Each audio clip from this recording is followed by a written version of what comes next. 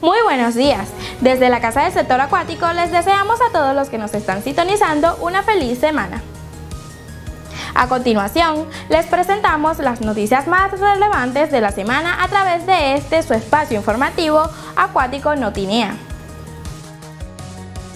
Comenzamos nuestra ronda informativa indicándoles que en el lecho marino de Mochima, en Cumaná, Estado Sucre, se implementará un plan piloto para contrarrestar el avance del coral invasor Unomia estolonífera. Esta iniciativa del Ministerio de Ciencia y Tecnología, en la que nos incorporamos juntos a los ministerios del Poder Popular para el Ecosocianismo y el Otroro de Pesca y Acuicultura, establece como protocolo científico privar de oxígeno al coral invasor a través de una capa plástica. Toda vez, de acuerdo a resultados obtenidos, el organismo muere y se desintegra. Dicha capa plástica puede ser retirada y colocada en otro perímetro para el mismo fin.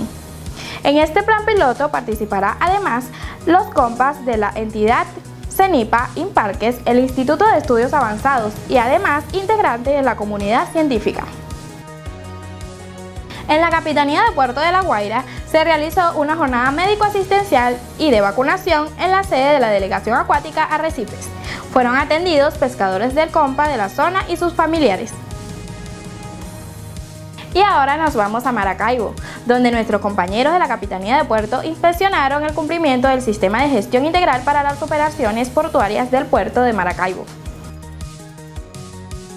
En esa misma entidad, el INEA participó en una reunión con representantes de Pompesca, Viceministerio de Industrias y Carpinteros de Rivera, para continuar avanzando con el Plan Integral de Saneamiento del Lago de Maracaibo.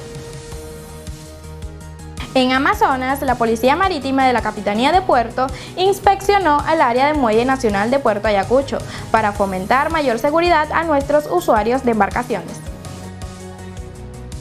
En la población de Santa María, en el estado Zulia, el personal de la Capitanía de Puerto de la Ceiba realizó una jornada de registro y documentación marítima de la mano con Isopesca y voceros de Compas.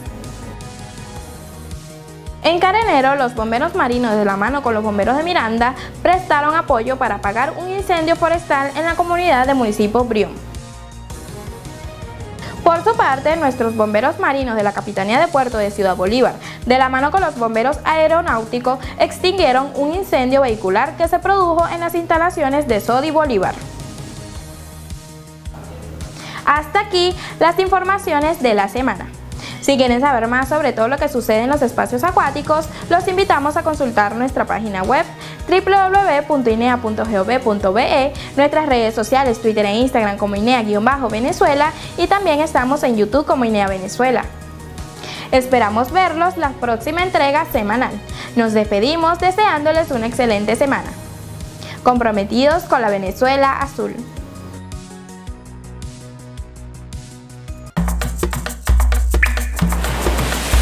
Instituto Nacional de los Espacios Acuáticos. INEA.